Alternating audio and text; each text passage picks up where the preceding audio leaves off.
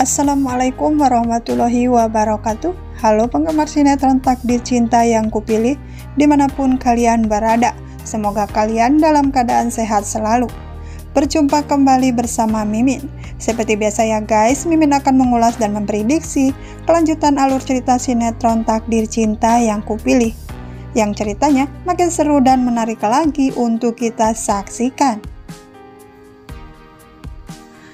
Nah guys, seperti yang kita lihat di episode sebelumnya, kita pun disuguhkan dengan adegan yang sangat membuat kita sangat puas dan sangat senang karena pada akhirnya gosip miring tentang Miss Novia. Kini akhirnya Novia kini dikenal dengan banyak orang. Dan pastinya rencana Miss Novia di acara di PSTV akan ramai diperbincangkan. Karena kinerja Novia yang sangat membanggakan ya. Hingga Novia pun mendapat banyak pujian dari semua orang. Nah guys, sebelum lanjut ke pembahasan bagi kalian yang baru menemukan channel ini, jangan lupa tekan tombol like, komen, dan subscribe. Serta jangan lupa nyalakan lonceng notifikasinya bertujuan agar kalian semua tidak ketinggalan info terupdate dari channel ini. Tonton videonya sampai selesai agar tidak terjadi gagal paham di antara kita ya guys. Terima kasih.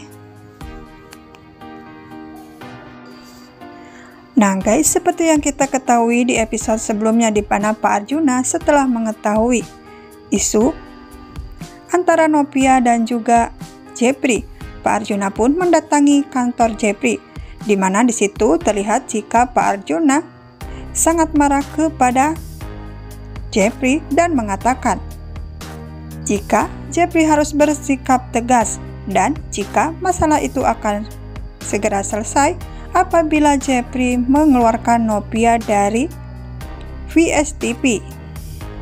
Namun di situ Jeffrey pun menolak bantuan dari Pak Arjuna yang mana ia mengatakan jika ia bisa menyelesaikan masalah tersebut sendiri. Terlihat di situ pun Pak Arjuna menuruti rencana Jepri. Namun di situ Pak Arjuna mengatakan jika rencana Jepri tersebut gagal, Jepri harus mengikuti apa yang dikatakan oleh Pak Arjuna.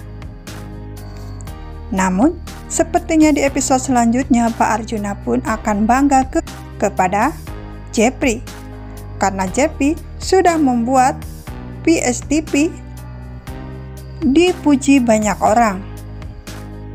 Yang mana sebelumnya PSTP tercemar nama baiknya karena sip miring antara Novia dan juga Jeffrey. Namun Jeffrey berhasil mengubahnya menjadi dipuji banyak orang. Hingga membuat semua orang yakin jika Sepnopia adalah sep terbaik dan Miss Novia pun pantas menjadi juri di ajang Super Set Show di PSTV. Dan pastinya Pak Arjuna setelah mengetahui klarifikasi dari Jeffrey tentang Miss Novia, Pak Arjuna pun akan semakin bangga kepada Miss Novia. Dan pastinya, setelah Pak Arjuna mengetahui jika Miss Novia telah bercerai dari Hakim, Pak Arjuna pun akan merestui hubungan Jeffrey dan juga Miss Novia. Dan semoga saja Pak Arjuna akan luluh melihat ketulusan Jeffrey yang selalu berusaha untuk selalu bisa membahagiakan Novia hingga Jeffrey pun rela melakukan segalanya agar bisa membuat Novia selalu bahagia. Dan sementara itu di adegan lain di mana Hakim yang terlihat sangat bahagia karena Hakim akhirnya mengetahui keberadaan Tami, yang mana sebelumnya Naima membantu Hakim untuk mencari Tami. Dan Naima pun berhasil mengetahui keberadaan Tami saat ini hingga ia pun memberitahu hakim. Namun saat hakim mencari Tami ke tempat di mana Naima menunjukkannya, ternyata lagi-lagi hakim harus nihil. ia tidak berhasil kembali menemukan Tami karena Tami sudah pergi dari tempat tersebut.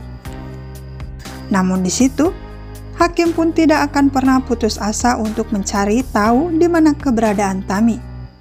Karena ia yakin ia akan berhasil menemukannya.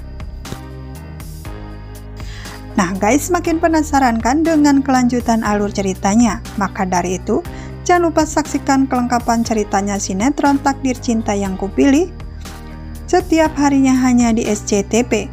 Tulis saran dan komentar kalian di kolom komentar. Terima kasih. Mimin pamit. Wassalamualaikum warahmatullahi wabarakatuh.